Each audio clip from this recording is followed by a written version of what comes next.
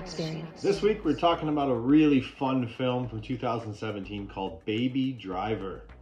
This film was about a kid, basically, in his 20s, who was very, very good at getaway driving. So he would drive for these bank robbers and all kinds of things to get away.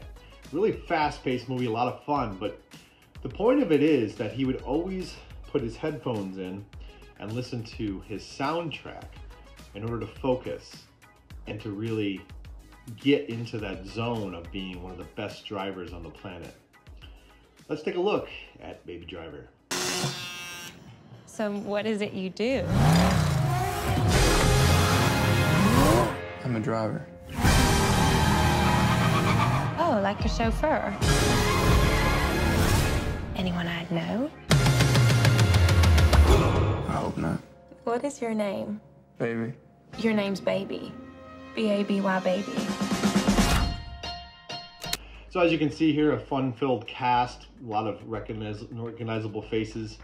But the the idea behind music, right? It's it's such a good focuser. I mean, think about working out without music. You know how that feels, right? It doesn't feel quite right. We want to have that that those tunes, the pumping, the, the whatever is your your deal, whatever's your vibe vibe in the moment. You want to have that going when you're working out, when you're doing things. If you're if you're cleaning around the house, it's really awesome to have music on. Music can be a very good focuser uh, to us, and um, it's got such special qualities to it. Nothing like it on the planet, and uh, I know that I've found a lot of um, amazing uses for music in my life. Number one, it can change your mood. It's fantastic for you know if you're, you if you're like a little tired or you're, if you're just feeling a little off, you can pop in one of your favorite songs, and you can all of a sudden start feeling better. Music has been you know throughout history been used in many many different cultures. Uh, you know around you think about uh, tribal around the the, the campfire and, and, doing the singing and dancing at night. Um, you know, all of these cultures have amazing music in their own way. And, uh, you know, when we think about music in our lives, I'm sure that each and every one of us in this audience can pick out a few songs that are just their their go-tos. The the way music makes them feel in movies, right? Movie scenes are so interesting when they put music to them. uh, movie trailers, of course, you know, they give you the highs and the lows. They give you the goosebumps with the with the music. Scenes are so much different without music in them, and they just don't have the same impact on us, on our nervous systems. Something to do with music and our rhythms. Uh, us going out and seeing live music is so amazing to us. Uh, you know, me and my wife. It, it feels like it's getting into your heart in that moment, right? You're just feeling the, the, the drum, you're feeling the bass, you're feeling the guitar, you're feeling the, the vocalist. It's getting inside you and doing something amazing. But it can be used definitely for focus. And we talk about it in meditation and manifestation a lot, right? We use it on our show, the School of Om. Jaron talks about it a lot when he talks about manifestation. He uses it in all of his classes that he teaches.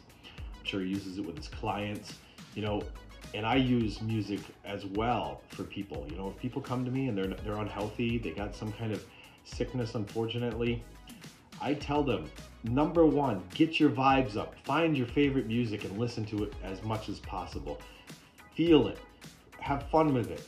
Energize yourself. Inspire yourself.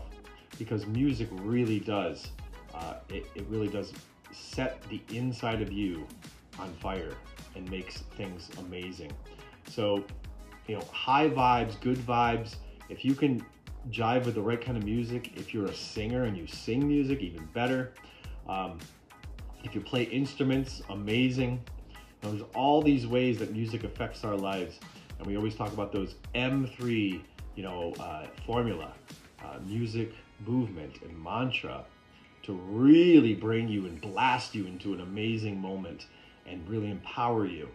So we use music in so many different ways in life, probably countless amounts of ways we don't even think about. But imagine a movie, an entire movie without music. imagine going uh, on car car rides without music. I mean, these are these are like staples for what what I, I grew up with and what I continue to do.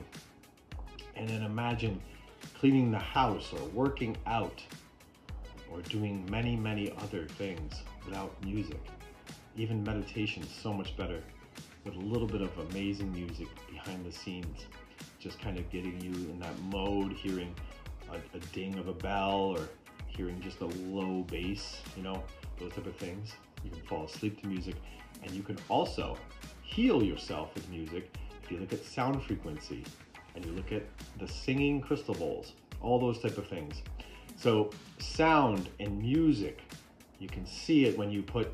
Um, they've done experiments where they put sand on top of certain uh, uh, frequencies, and they create amazing patterns.